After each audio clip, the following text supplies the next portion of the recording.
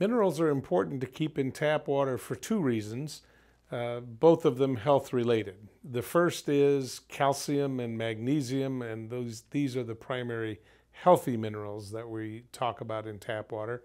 Calcium is good uh, for the skeletal uh, structure of the human body, uh, our bones and our teeth, and magnesium is been shown to be a healthy mineral for the cardiovascular system.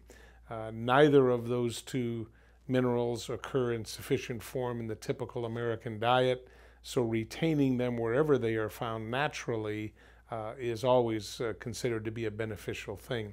Uh, the second reason for the retention of those minerals is they are the primary TDS, or total dissolved solid, found in most tap water.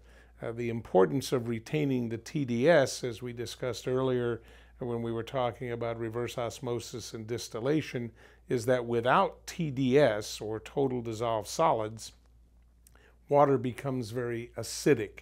It is important to maintain an alkaline uh, nature to drinking water, uh, primarily because the human body uh, maintains a slightly alkaline pH in our bodily fluids. A healthy human uh, being has a pH of their bodily fluids in the range of 7.3 to 7.4, 7.0 being pH neutral.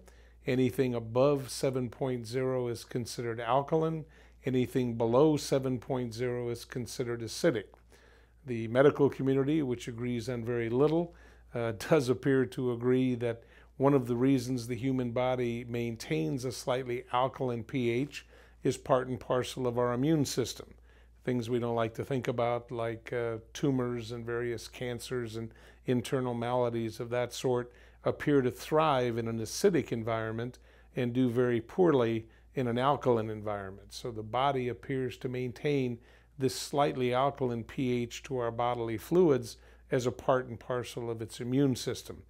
Inundating a human body with excessive amounts of acidic foods or liquids causes the bodily fluids to start to lower in pH. When the body senses that, uh, it will take every mean it can to prevent that from occurring.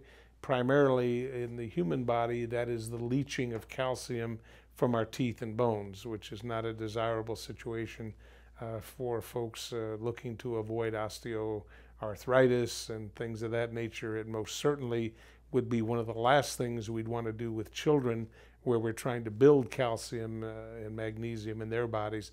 We wouldn't want anything that would detract from that. So a, a, very important reason for the retention of those minerals is to keep the water at an alkaline state and not allow it to be acidic. Uh, reverse osmosis uh, and, uh, uh and distillation both uh, by removing those minerals produce acidic water.